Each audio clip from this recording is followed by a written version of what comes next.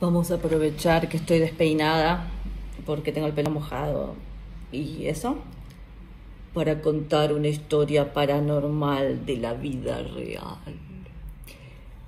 Yo no sé si a ustedes sus historias paranormales son en casas grandes y antiguas donde hubo un asesinato y por eso hay un, fantasma que está muy perturbado. Bueno, sus historias por ahí, quizás son muy glamorosas, ¿sí?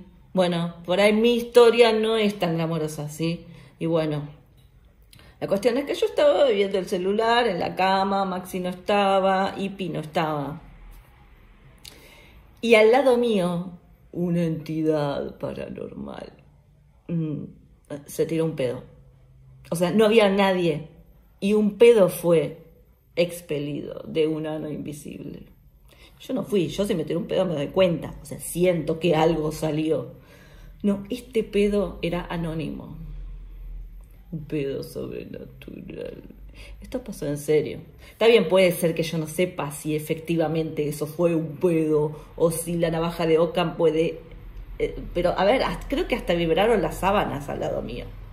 O sea, fue un pedo. Pareció pedo. Así que bueno, no sé, mi única experiencia paranormal fue un pedo de un fantasma, un fantasma que estaba perturbado por algo que comió.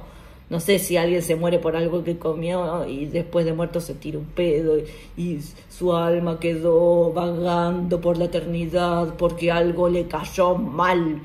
Le cayó mal y dice, oh no, ¿por qué comí tantas lentejas? Yo sabía que no tenía que ser vegana o vegano, ¿ves?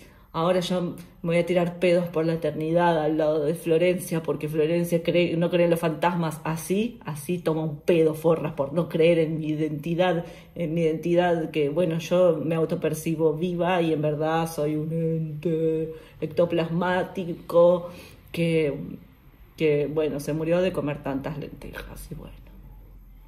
Y pensar que podría haber comido asadito, podría haber comido fiambres, un sándwich de mortadela y un pan con paté y, y, achuras. Y no, yo decidí ser vegane y ahora me tiro pedos por toda la eternidad por mi culpa. ¿Por qué no comí esa mollejita, hijos de yuta? ¿Por qué me metieron en esto la